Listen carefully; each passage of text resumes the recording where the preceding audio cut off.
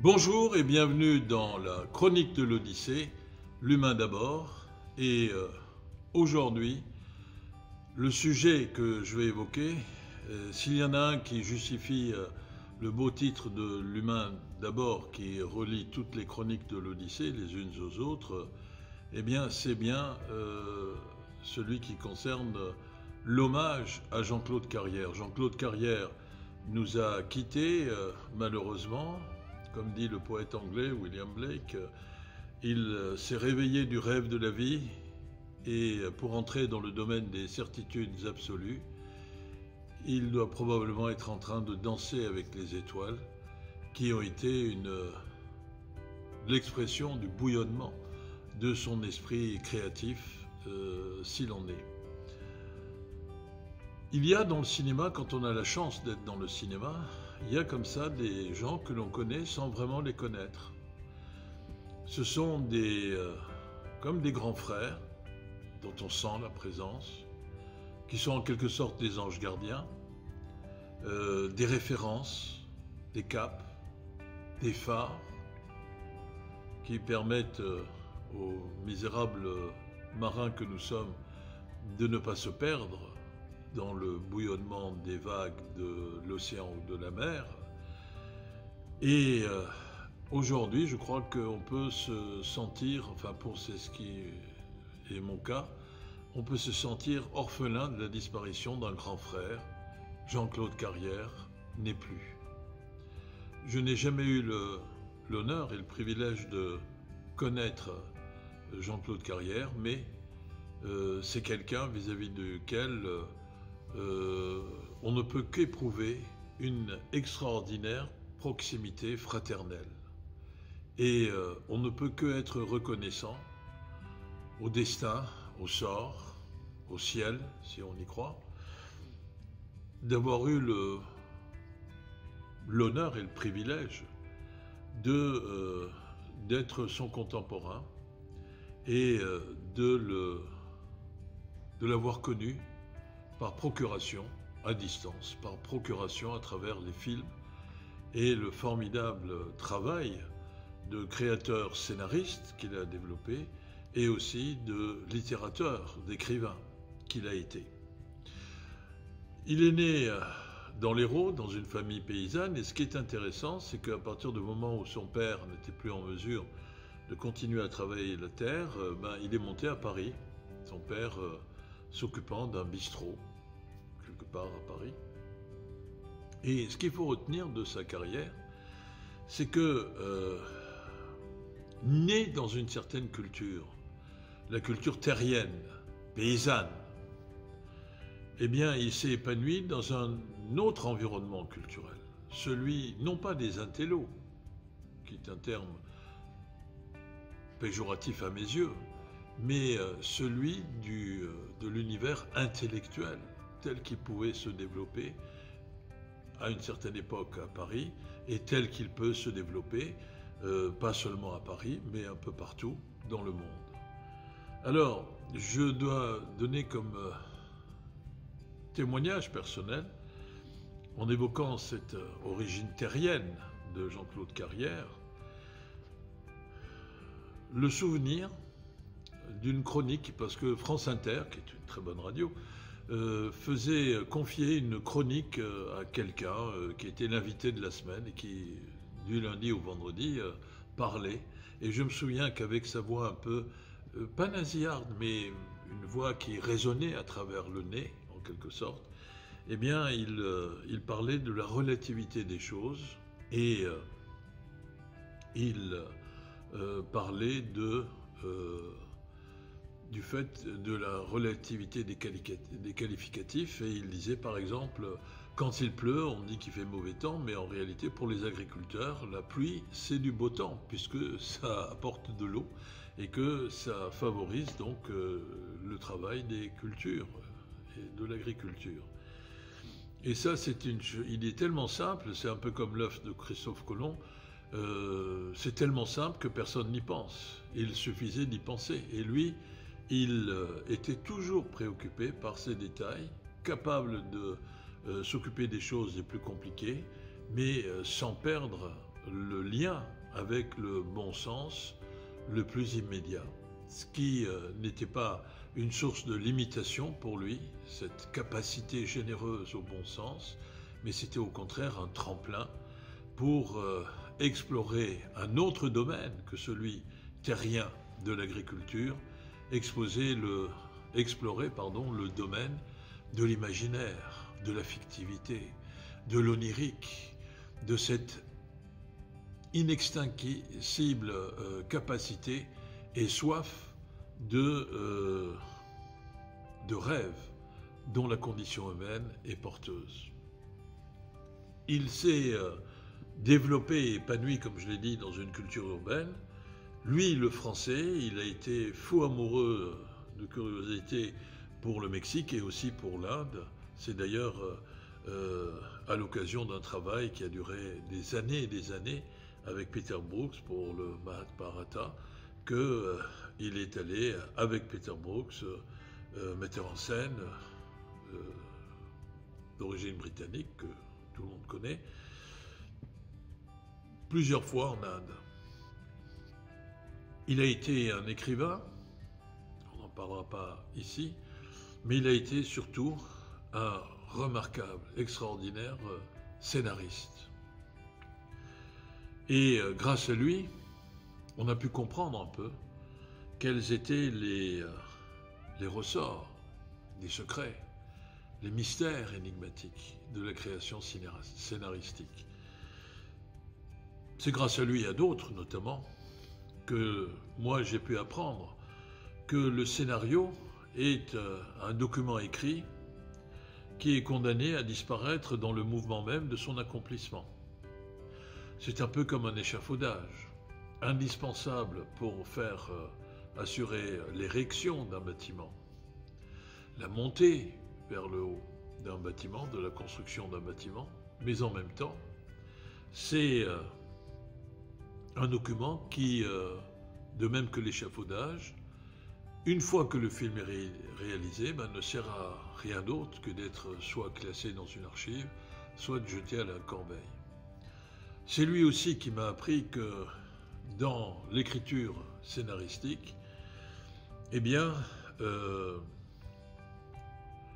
il faut apprendre à écrire avec des termes d'équivalence audiovisuelle.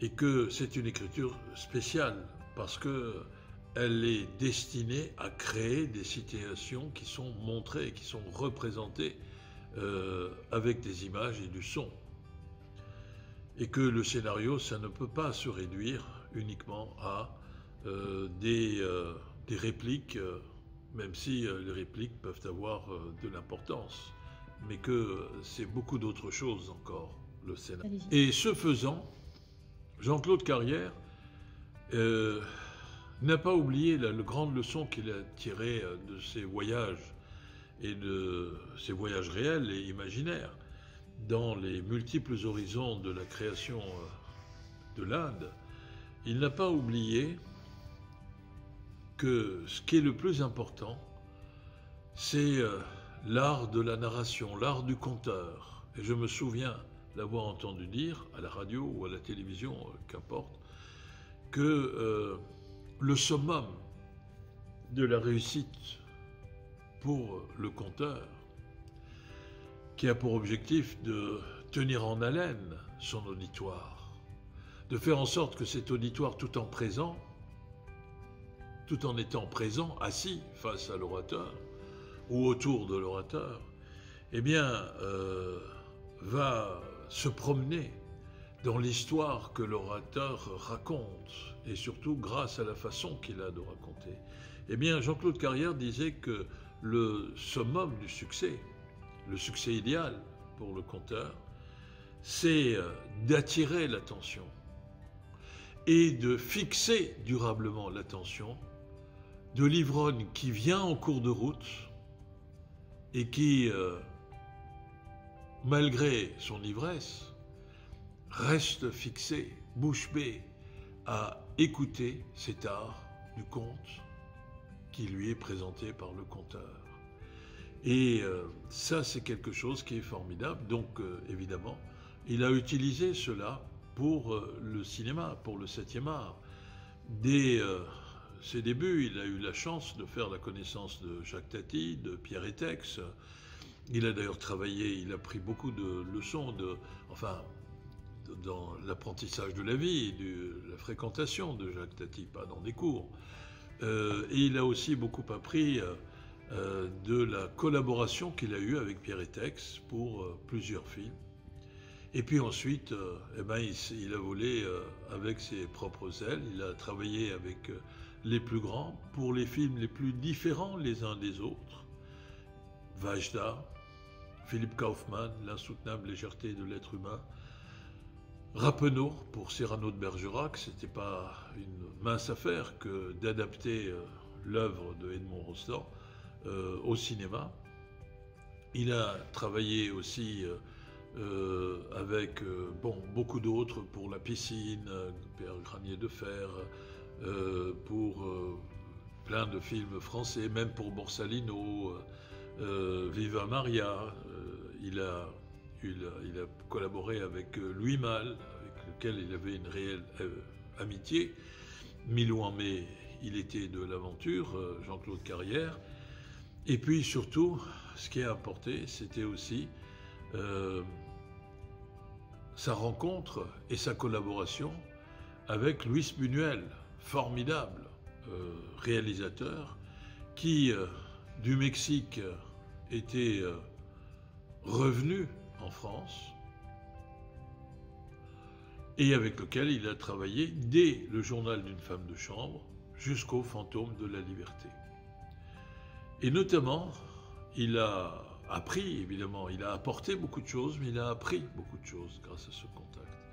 C'est la raison pour laquelle euh, moi je n'hésite pas à dire que c'était un touche-à-tout, mais euh, touche-à-tout avec immensément de doigté, de délicatesse, un doigté et une délicatesse renforcés par une érudition qui n'était pas destinée à satisfaire son narcissisme nombriliste, euh, mais au contraire à euh, goûter à tous les plaisirs, à toutes les découvertes et à vivre l'aventure de la découverte dans une collaboration démultipliée avec beaucoup de gens. C'est la raison pour laquelle euh, c'était un grand monsieur. Et euh, pour euh, terminer, je voudrais juste renvoyer au film de Louis Buñuel. Je me souviens aussi d'un propos de Jean-Claude Carrière qui disait que le rôle du scénariste est d'entretenir une gymnastique de l'imaginaire.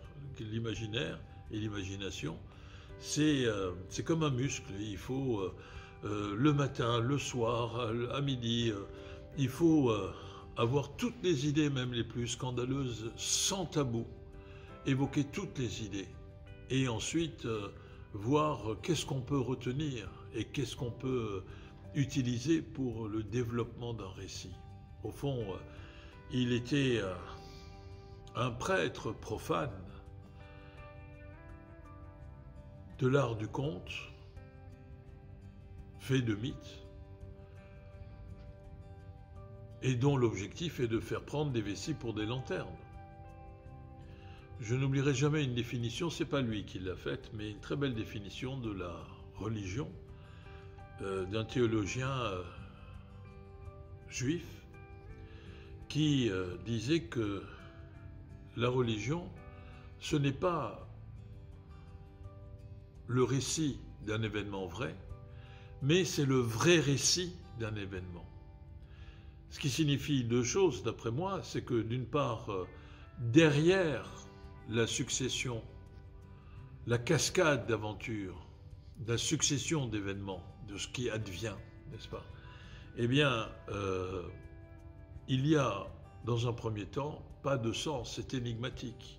Et donc, tout l'art, c'est de prendre et de considérer cette succession d'événements de manière à lui donner un sens. Et en même temps, de rappeler que à chaque mise en place d'un sens peuvent correspondre des milliers d'autres possibilités d'élaboration, de signification et de de sens. Autrement dit que la réalité, eh bien, c'est quelque chose comme un mouvement brownien où différents, dans le cadre duquel différents points de vue, différentes façons d'approcher, de ressentir, de mettre en scène un sens,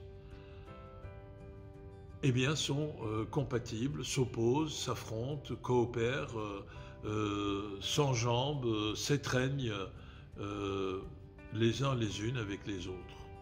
Eh bien, ça, c'était ce qui ressortait de cette maîtrise de l'art du conte cinématographique qui était le propre de Jean-Claude Carrière et qui faisait qu'au fond, il était en résonance permanente avec cette dimension onirique que parfois on a tendance à vouloir cacher et parfois avec laquelle on a peur de vivre et qui pourtant est une part de nous-mêmes.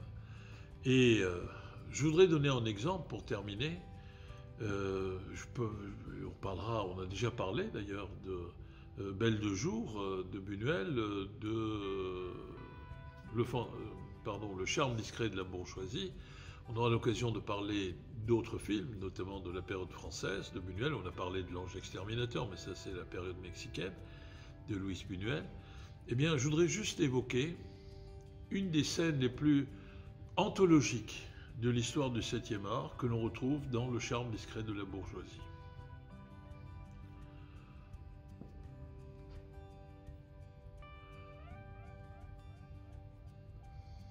un groupe d'amis, Stéphane Audran, euh, euh, Jean-Pierre Cassel, euh, Paul, Paul Ricoeur, pas Ricoeur, pardon, j'ai oublié son nom, et quelques autres, Bulogier, se retrouvent sur, dans une réception, enfin, se retrouvent invités à un dîner, ils rentrent dans la maison. On les installe, le domestique les installe sur une scène. Enfin, euh, sur une table, autour d'une table dressée. Un autre domestique apporte le poulet, il le fait tomber, il le ramasse. En fait, c'est un poulet en plastique. Et à ce moment-là, on entend trois coups et le rideau s'ouvre. Ils sont sur une scène. Et un souffleur leur souffle euh, la réplique à donner. Évidemment, c'est la panique. C'est une situation euh, cauchemardesque. Vous vous retrouvez, euh, vous ne savez pas pourquoi, vous ne savez pas comment, sur une scène et on vous demande de jouer, il y a du public et, qui commence à vous siffler. le seul qui reste et essaye de donner le change avant de s'enfuir, les autres se sont enfuis de table, c'est évidemment l'évêque, ça c'est le côté anticlérical de Buñuel. Et puis finalement, ils sont invités à une réception donnée par un colonel euh, qui est euh, le colonel joué par euh, un formidable Claude Pieplu dans le film. Et durant cette réception, le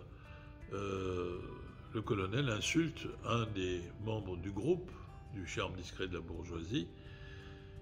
Eh bien, et ils se giflent mutuellement et ils tirent. Et c'est à ce moment-là qu'on se rend compte que cet enchaînement de situations de plus en plus inextricables pardon, et de plus en plus cauchemardesques, du coup, eh bien, résulte du rêve que fait quelqu'un, l'un des personnages, qui rêve qu'un autre personnage rêve les situations que l'on a vues.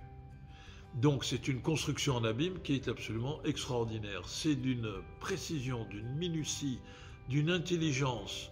C'est brodé avec de la dentelle et euh, au résultat, il y a un travail absolument cristallin. Et ça, c'est tout euh, Jean-Claude Carrière qui a toujours su que euh, au sein même de ce que nous appelons la réalité, ce que d'autres un peu plus constipés appelleront le comme il faut, le conformisme, etc., eh bien, il y a toujours des situations qui sont potentiellement euh, équivalente à un grain de sable et euh, susceptible de dégénérer à tout moment dans un enchaînement absolument incontrôlé. La réalité est complexe et la dimension humaine l'est euh, tout autant, et donc ce télescopage de complexité multiples, eh bien, est source de création et en même temps source de situations qui peuvent être absolument déstabilisantes, mais dès lors qu'il s'agit d'un film, eh bien, cette déstabilisation-là, elle est source de plaisir. Ces plaisirs, on les a vécus, on les revivra en revoyant les films de Jean-Claude Carrière. Je ne l'ai pas connu, je n'ai pas eu cet honneur, je le répète, mais euh, euh, une seule formule est à l'ordre du jour. Adieu la nuit euh, et surtout chapeau pour le formidable travail de créateur qui nous renvoie à notre propre complexité et qui nous renvoie à la nécessité d'échapper à la pesanteur de nos conformismes et euh, à la constipation de peut-être de comportements calibrés, anonymisés, qui ont tendance à faire de nous des esclaves consentants, poil aux dents. Merci beaucoup euh, Jean-Claude Carrière et j'espère qu'il est entré, en train de danser avec des étoiles qu'il est allé rejoindre. À très bientôt. Merci. Au revoir.